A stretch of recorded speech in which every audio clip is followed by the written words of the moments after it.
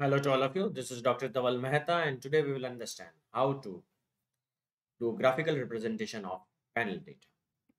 For this purpose, we will on the eViews. I'll bring the file here. Now, when I will do the selection of the variables, you can see it is a panel data. I want to plot the graph of it.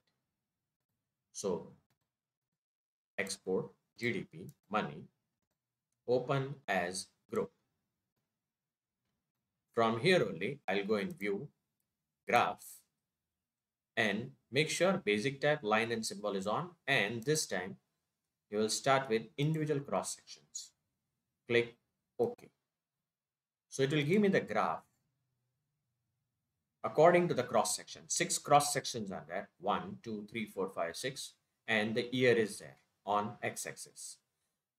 The lines depict, blue color lines depict export, red is GDP and the money. You can also animate the graph from here.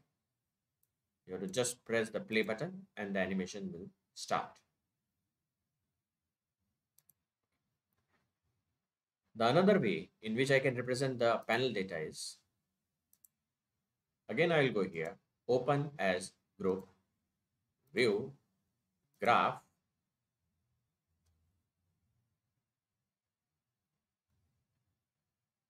and this time I'll do the selection as combine cross sections.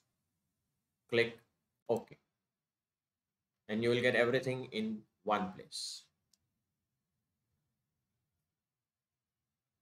That is all the different color lines. Like the first cross section export the second cross section and export. You will get the representation in this format.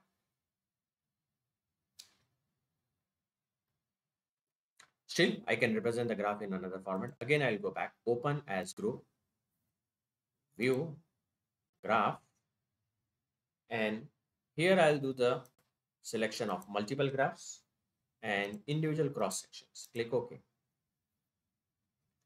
So the thing which we had represented everything on one graph is now disintegrated into different graphs. I can again go back here, view, graph, and make some changes here. Make sure it is combined cross section is on, click OK. And now I'll get the graph of export, GDP, and money according to the cross sections. So this way also I can represent the panel data. So thank you all of you. This is a way in which I can represent the panel data in eViews. For more videos on panel data using eViews, kindly subscribe to my channel. You can refer my playlist in which I have already uploaded many videos which are related to panel data using eViews. You can follow me on LinkedIn and Twitter. Thank you.